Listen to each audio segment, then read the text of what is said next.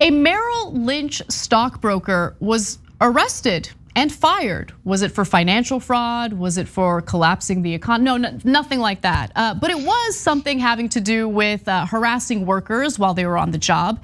He was actually caught on camera hurling uh, racist comments at workers at a smoothie store in Connecticut. So first a little context and then we'll go to the video of this situation.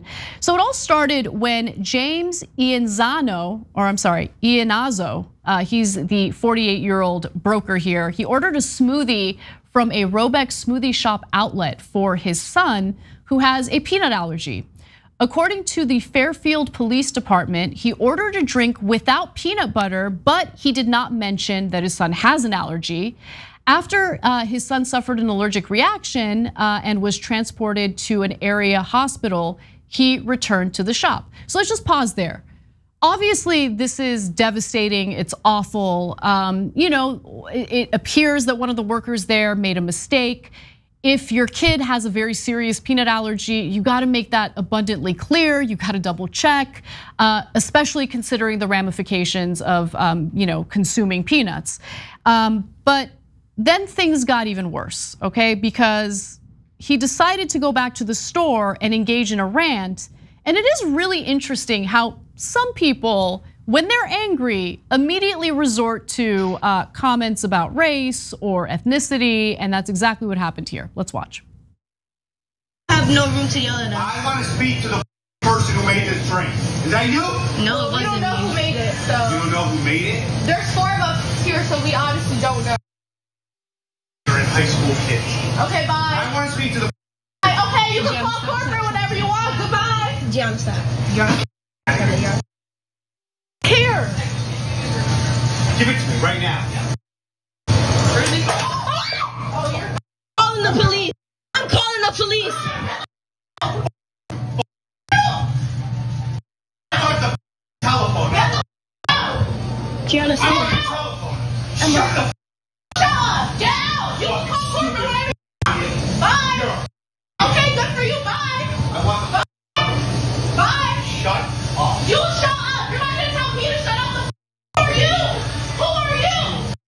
Immigrant loser. What? Get the out. Get the out. Get the You're going to jail. You're going to jail, you racist piece.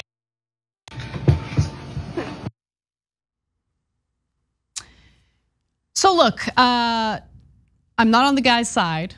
I want to be clear that I understand, like when your kid gets sick or hospitalized, of course you're gonna be very upset, tensions flare, I get that, okay? With that said, you obviously can't throw things at people, and you also probably should avoid referring to uh, the person that you're yelling at as a as an immigrant loser. And shockingly, I was actually surprised about this, Francesca. He was arrested and fired from his job as a result of that video, which uh, quickly received 16 million views. Um, so, yeah, I mean, I'll give you more details on his arrest in just a moment. But first, uh, how about a reaction to uh, his reaction? I mean, yeah, I think that given the context, you understand someone is upset, someone is is angry, but but given that, explain what happened, right? Th- th- these are humans and people as well. They maybe made a mistake. You could say, "Hey, my son had this peanut allergy. Uh, you know, I'm like, p- please, like remedy this, or like, or even just say I'm mad about it." Mm-hmm. And they, th- you know, then there that would at least maybe lead to I don't know a blanket apology. But no, instead he comes in there kind of guns blazing and proceeds to yeah call everyone what like a loser, an immigrant, just so unnecessary. Tries to get into the actual area that they're working. My initial thought was, man, people don't get paid enough to deal with customers.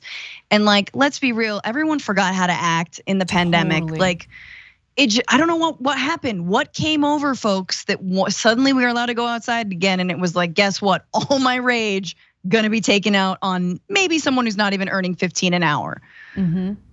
Yeah, I was actually having a conversation about this with my husband because you know he he mentioned like oh these companies uh, need to start paying more and look this is anecdotal and overall I do agree with him but even some of these restaurants like I, I noticed a Panda Express that we were at Don't judge me. I kind of like that orange chicken. No, it's fine. Um, they had a sign up saying like, we offer paid time off and health benefits and $22 an hour, and they're like desperate to find workers.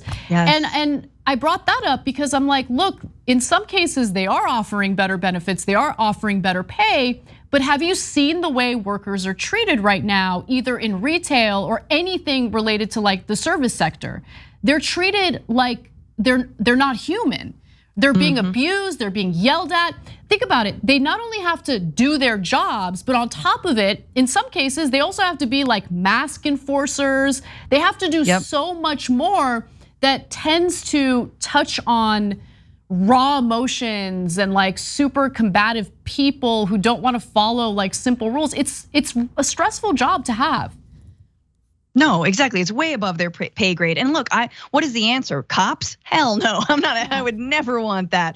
You know, but there could be an unarmed kind of security, some measure of assistance would not be much for a lot of these corporations and franchises to be able to delegate that person to like, you know, make sure everyone's, you know, acting right, come correct and can like offer some support. Again, unarmed support, but some support. Um you know, I don't think it is, it's not like a, well, guess you're just gonna have to deal with it. I'll pay you more. I don't know. You want a free Spotify account, which uh, Starbucks was floating for a little bit, Oh my God. which is just like almost insulting. But here's here's the thing, like, do you think he should have lost his job? You know? Mm-hmm. And I think a lot of people will be like, wow, canceled. But at the same time, it's Merrill Lynch. It's a private company that, as you said, loves to prey on poor people, loves to, I mean, they might not say immigrant loser, but man, they've definitely treated immigrants poorly. Um, and so you you almost wonder, like, I don't know, like I'm I'm sort of at a crossroads about that. But also, it's a private company; they can do whatever the hell they want. you Yeah, know? that's true. I okay, generally speaking, I'm not I'm not really in favor of like get them fired and destroy their lives because it's not just about the individual who engaged in wrongdoing, it's also about like the consequences that this guy's family is going to have to face as a result of his bad behavior. Um, this I don't know. It's a tough situation. You're right. It's a private company. They can do whatever they want. But overall, I would just urge people to kind of hesitate before calling for people to lose their livelihood. Um, this guy, though, he did get He'll be fine. arrested because he it's assault, like throwing things at people. It's assault. Um, you can't get arrested for saying racist things. That's uh, actually protected speech. But the way that he was treating the workers is what got him in trouble. So he was charged with intimidation based on bigotry or bias, breach of peace, and criminal trespass. And that's according to a police report. Following his arrest, he was fired from his position at- at Merrill Lynch, as we mentioned. Uh, he had been working there for 26 years. Uh, They released a statement saying, Our company does not tolerate behavior of this kind. We immediately investigated and have taken action. This individual is no longer employed at our firm. But you know, another perspective is, well, most people who end up getting arrested end up losing their jobs as well. You know, um, so getting arrested is serious, and there's evidence of what he did. And then look, and I get it. Like, there's the other part of me that's also sympathetic to the fact that he was probably in panic mode because of what happened to his son. But that still doesn't justify justify abusing people, and it certainly doesn't justify calling someone an immigrant loser because you're upset. Um, you got to find a better way to release that stress or that frustration, and just it's hard, but you're an adult. You got to figure out a way to do it. You know. Thanks for watching The Young Turks. Really appreciate it. Another way to show support is through YouTube memberships. You'll get to interact with us more. There's live chat emojis, badges. You've got emojis of me, Ana, John, JR. So those are super fun. But you also get playback of our exclusive member only shows and specials right after they air. So all of that, all you gotta do is click that join button right underneath the video. Thank you.